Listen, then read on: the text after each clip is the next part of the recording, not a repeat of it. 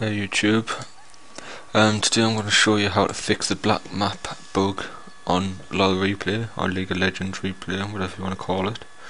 Um, it literally takes two minutes to fix.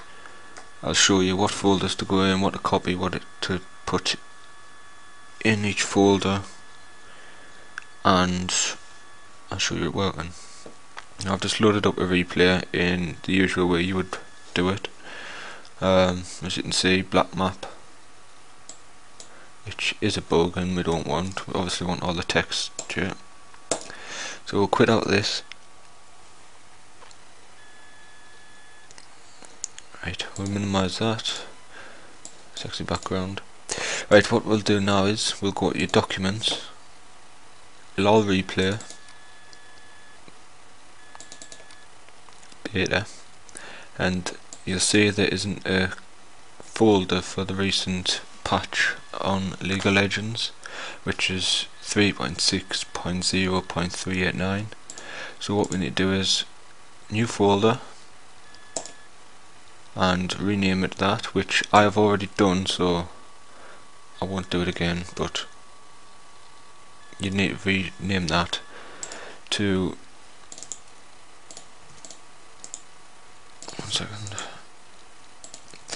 3.6.0.389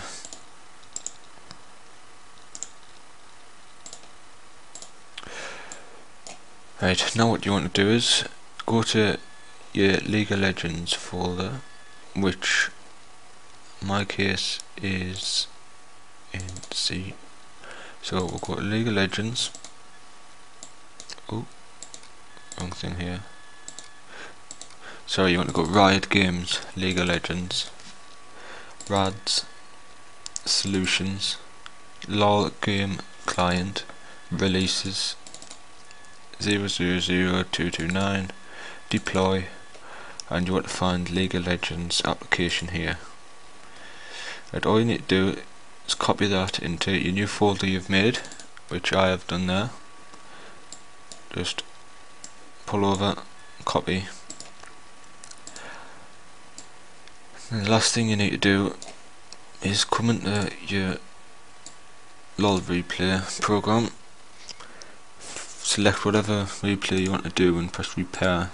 Now usually you just press OK to run but we can't do that now so what we're going to do is type in the new entry patch which is 3.6.0.389 OK are you sure the replay is from yes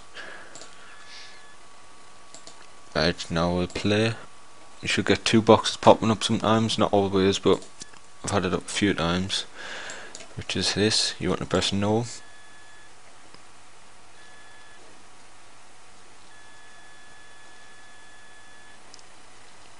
no again. Now, it will probably take a minute or two to load up since